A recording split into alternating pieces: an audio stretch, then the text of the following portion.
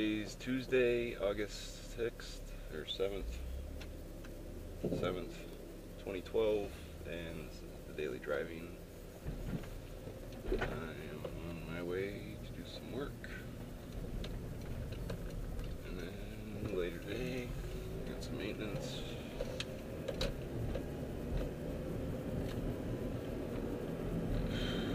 and I gotta get some gas too.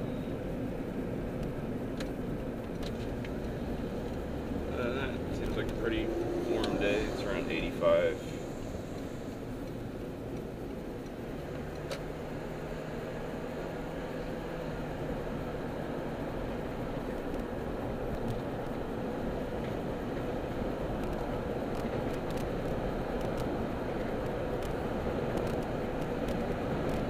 That's very sad. I think that was someone's cat. That did not look like a skunk.